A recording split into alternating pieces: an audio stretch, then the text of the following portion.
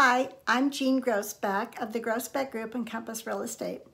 I just heard someone talking um, who was an expert in real estate, and they were saying that if you find a house you like and you have not whole, sold your home first, uh, the first decision you need to make is whether or not you can carry two mortgages.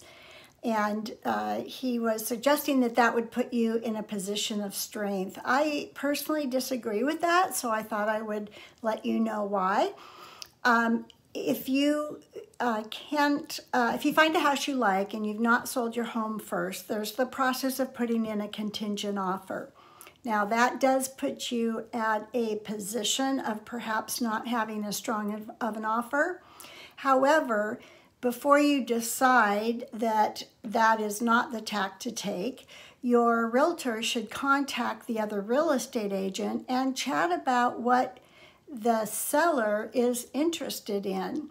They may not want a quick close. They may be willing to, to um, give you time to sell your home. They may be wanting to uh, get their home under contract so that um, they can, you know, move forward with different plans. It's possible that they're going to rent. It's possible that the seller would allow you to rent back. That's actually pretty common. We do an actual rental agreement so that the parties are protected and the person renting back, which would be uh, the former owner, gets rental insurance.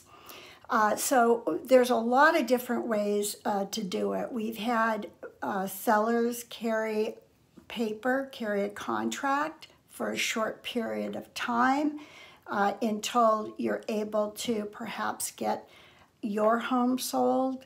So there's not a cookie cutter answer to that question, and I was disappointed that that was what they gave. You don't necessarily have to put yourself in a position where you would have two mortgages. There's a lot to negotiating a contract rather than just price, and that comment was only focused on perhaps price point. But there's lots of other things that can be worked out. So make sure that you're working with a full-time experienced real estate broker that has negotiated these kinds of intricacies in a contract before so that you can get the outcome that you want.